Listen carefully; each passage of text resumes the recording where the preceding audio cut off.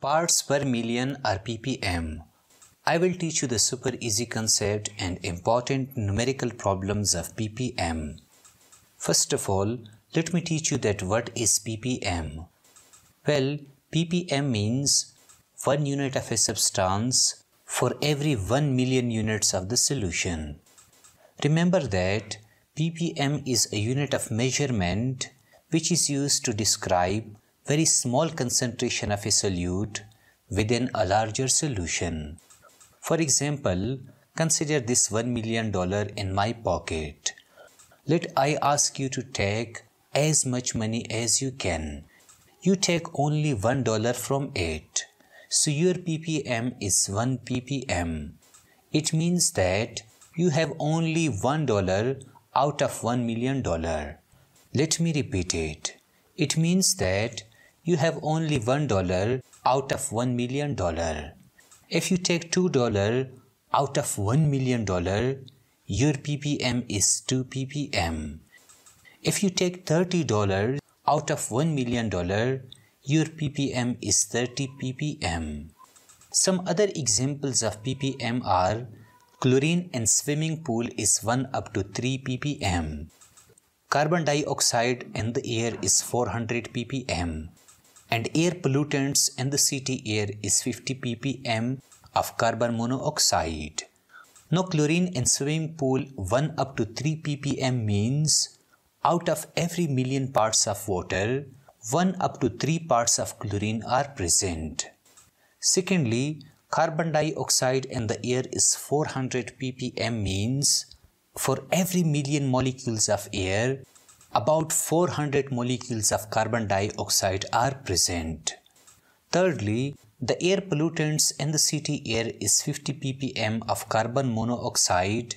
It means that there are 50 molecules of carbon monoxide in every 1 million molecules of air. In the light of these examples, the formula of ppm is amount of a solute in grams upon total amount of solution in grams and to 10 raised to the power 6. We will use this formula to crack any numerical problem of ppm. Thus remember that ppm is a useful way to measure small amounts of substances in everyday life from food and drinks to air and water quality. Now we will learn some important numerical problems of ppm. Let's consider this numerical problem. 10 mg of potassium chloride is dissolved in 18 kg of water. What is the concentration of potassium chloride in ppm? Well, I write the given data. The given mass of potassium chloride is 10 mg. Now I convert this mass of potassium chloride to gram. I divide it by 1000, I get 0.01 gram. The given mass of water is 18 kg. I convert it to gram. I multiply it by 1000. I get 18,000 grams. Now the total mass of the solution is equal to mass of potassium chloride plus mass of water.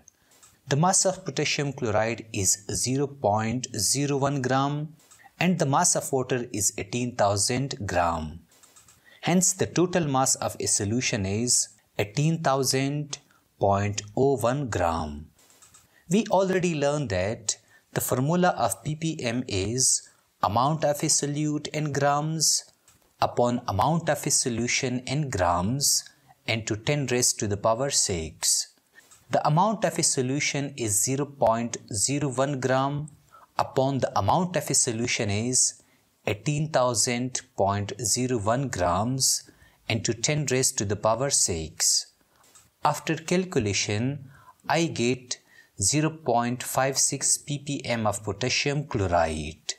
Thus 0.5 ppm of potassium chloride means that there are 0.56 grams of potassium chloride is present in 1 million grams of a solution. Hence noted down this important numerical problem. Secondly, consider this numerical problem. A soil sample contains 0.025 grams of lead and 5 kg of soil. Calculate the concentration of lead in ppm. Well, I write the given data. The given mass of lead is 0.025 grams. The given mass of soil is 5 kg. I convert it to grams. I multiply it by 1000. I get 5000 grams. Here the solution is soil and its mass is already given which is 5000 gram. We already learned the formula of ppm. The amount of a solute in grams upon amount of a solution in grams and to 10 raised to the power 6.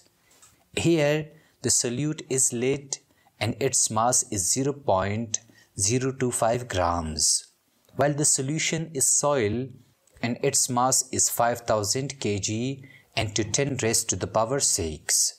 After calculation, I get 5 ppm of lead.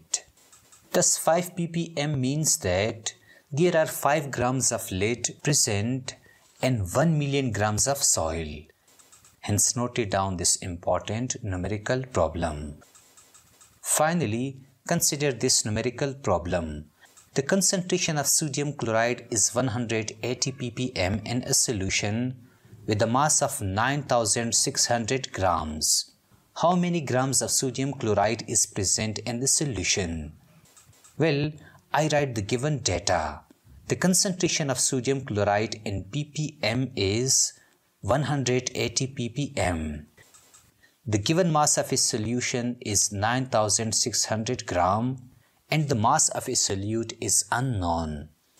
We already learned that the formula of ppm is amount of a solute in grams upon amount of a solution in grams into 10 raised to the power 6.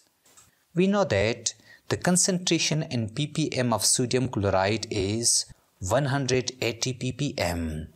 The mass of the sodium chloride is unknown upon the mass of a solution is 9600 kg into 10 raised to the power 6. I rearrange this equation. The mass of the sodium chloride is equal to 180 into 9600 upon 10 raised to the power 6. After calculation, I get 1.73 grams. Thus the mass of sodium chloride in 9600 gram is 1.73 gram. Therefore we say that ppm helps us to find the concentration of a solute in a very larger solution. Hence note down this important numerical problem.